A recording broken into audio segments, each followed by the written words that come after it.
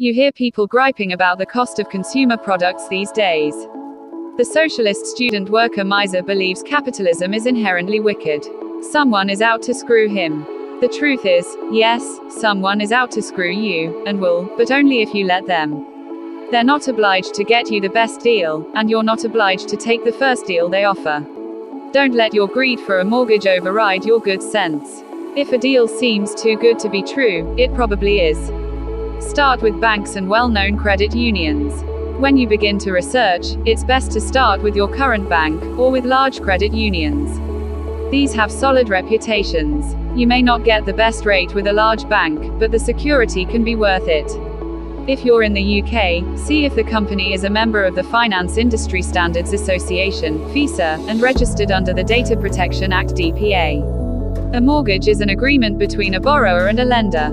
Determine first what type you're looking for fixed rate, variable rate, capped, buy to let, bad credit, self certification, and proceed from there. This will cut down your research time. There's no need to apply all over the shop.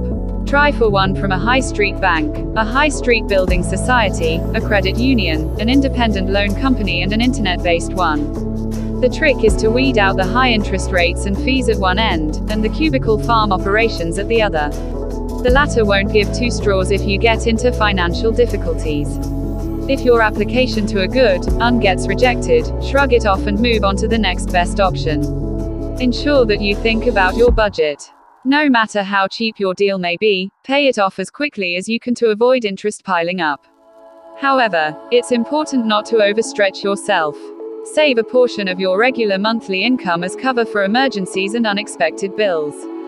In order to give you the best mortgage quote, the intermediary you apply to will need at least your name, address with postcode time at that address, amount you want to borrow, employment, how long in your current job, if you have a bank account, and how long you've had it. You may have to get used to the idea of getting cold calls from other lenders for weeks or months afterwards.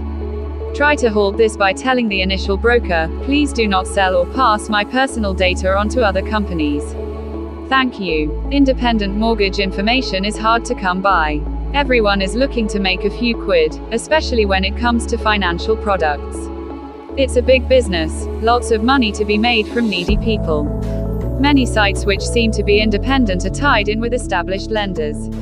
They can't give unbiased information. If it's a financial product, chances are most sites that come up in a search engine's first and second pages are tied to one of the larger large lending companies.